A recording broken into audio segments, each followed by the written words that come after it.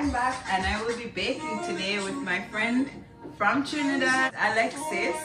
Hi. We're going to bake some cookies with a lot of rum in it today. So stay tuned to see what we come up with.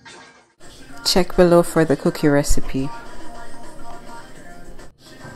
Alexis is chopping up the chocolate right now. She's going to town. See you.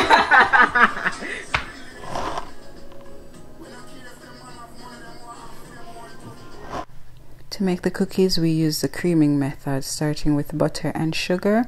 Then we added our liquid, which is the egg, vanilla, and our rum cream. I made our own version of rum cream.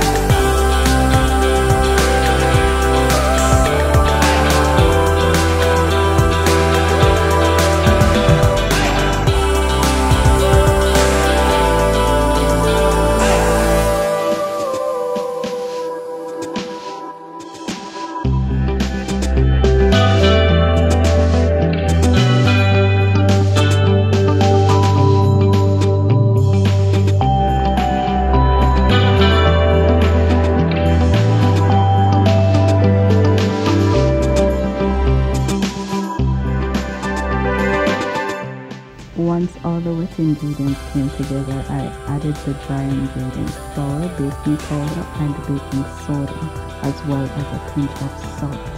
After this, we just want to ensure that everything comes together and the dough is nice and formed.